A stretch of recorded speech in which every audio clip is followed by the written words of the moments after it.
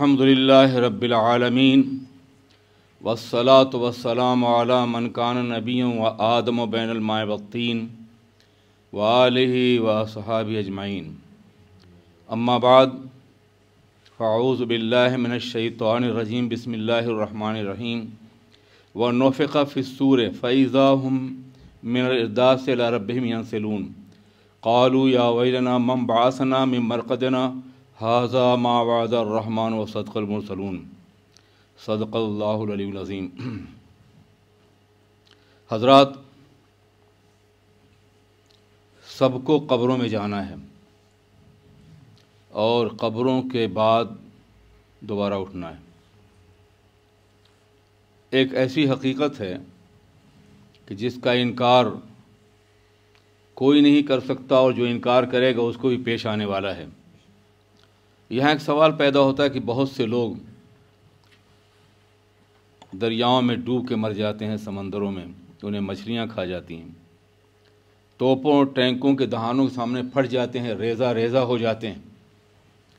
आग में जल जाते हैं, उनका वजूद मिट जाता है। ख़बरें तो उनकी बनती ही नहीं।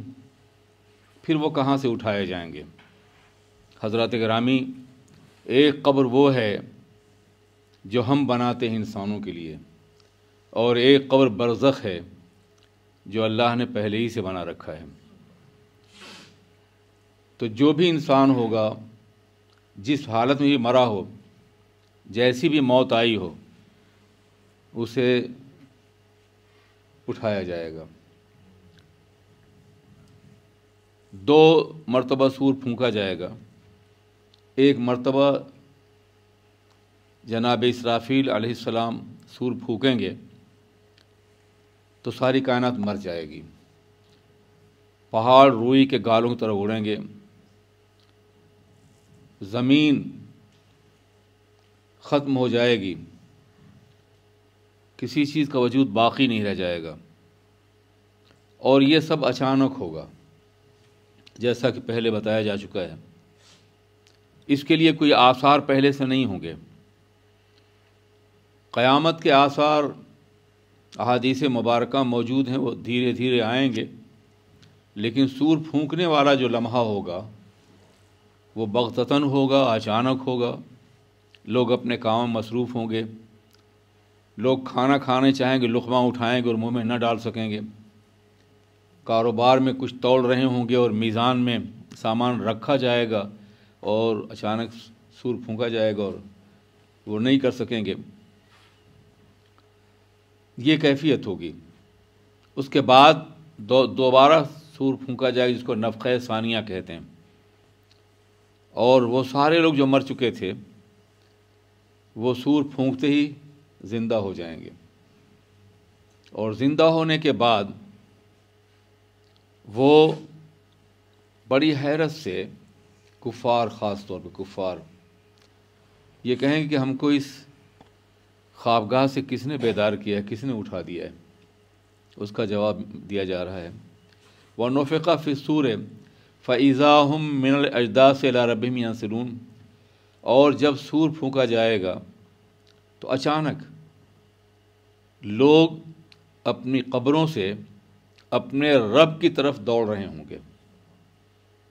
अपनी कब्रों से अजदास कब्रें अपने रब की तरफ़ दौड़ रहे होंगे। यनसलून, सूरत के साथ जाना, दौड़ना। अब यहाँ दो तबका होगा। एक तबका तो वो होगा जो अहले ईमान का होगा, जिन्होंने पूरी ज़िंदगी अपने रब के दीदार के लिए उम्मीदें लगाईं और सजदे किए। सजदा करते रहे और अपने रब के जलवों के देखने की तमन्ना तड़प में, पेशानी में सजदे तड़पते रहे। मगर देख नहीं सके। आप अंदाज़ा कीजिए कि जिसके दीदार के लिए एक इंसान ने साठ, सत्तर साल तक तमन्ना की हो और एक दो बार नहीं, हर वक्त तमन्ना की हो, हर सजदे में तमन्ना की हो, हर रुकू में ख्वाहिश की हो, काश हमारा मस्जिद हकीकी, हमारा परवरदिगार हमारे सामने होता और हम उसको सजदा करते। कब्र से उठने के बाद एक मोमिन को जब ये इतला मिलेगी कि रब की बारगाह में जाना है, बड़ा ही ज़ौक़ अफरा अफजा ये जुमला है। एला रब बहिम अपने रब की तरफ़ लोग दौड़ेंगे। तो मोमिन मुश्ताक़ दीदार इलाही तो शौक़ से झूमता हुआ, वजद की हालत में दौड़ेगा कि आज दीदार होने वाला है। आज अपने रब के जलवों का मुशाहदा किया जाएगा और काफिर इस खौफ से दौड़ेगा कि देखिए हमारे साथ क्या मामला होता है। या फिर उसे फरिश्ते दौड़ा रहे होंगे। कोई कैफियत होगी। इन दोनों सूरतों के बारे में अलग अलग सूरत होगी। मोमिन का दौड़ना, मोमिन की सूरत, मोमिन की उजलत अल्लाह की बारगाह में हाज़िरी की तमन्ना की बुनियाद पर होगी। और काफिर का दौड़ना अपने अंजाम की तरफ़ दौड़ना होगा।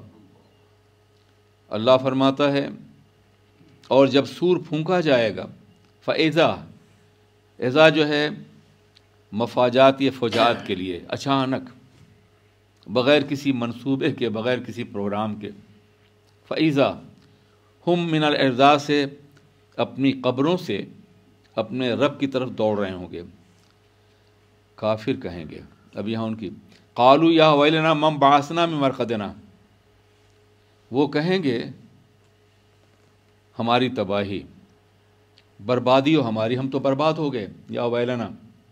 वैल के बहुत से मफाहिम और कान पाक मुतद मकाम पे वैल का लफ्ज़ इस्तेमाल किया गया है। वैल के माने तबाही के, बर्बादी के नाकामी के और वैल जहन्नम की वो घाटी है जो सबसे नीचे है। तो काफिर कहें, या वही लना मम बासना में मरकदना हाय तबाही, हाय बर्बादी, हाय अफसोस। हमारी ख्वाबगाह से किसने हमें बेदार किया है?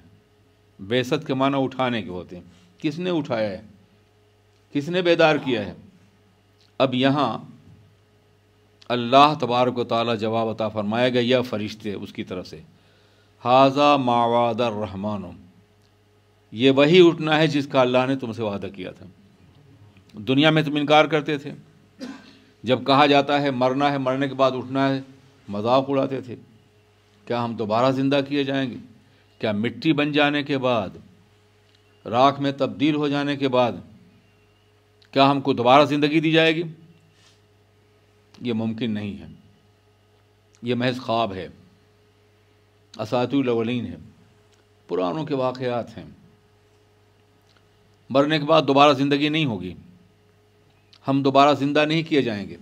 दुनिया यही है। इसी में जितना ऐश करना चाहो कर लो। जितना आराम करना चाहो कर लो। मरने के बाद तो फिर हमेशा के लिए फ़ना हो जाना है। काफिर ये समझता है कि एक इंसान की ज़िंदगी माँ की गोद से कब्र की गोद तक है, बस। मगर मोमिन यह समझता है कि कब्र के बाद एक नई ज़िंदगी शुरू होने वाली है, जो हमेशा रहने वाली ज़िंदगी है। इसलिए वो घबरा के कहेंगे कि किसने हमको उठाया? हमारी ख्वाबगाह से मरकत का लफ्ज़ है, सोने की जगह। तो क्या कब्र में वो सो जाएँगे? अजाब कब्र भी तो हक़ है ना। लफ्ज़ मरकत क्यों इस्तेमाल किया गया? इसकी दो तोजीहें हैं।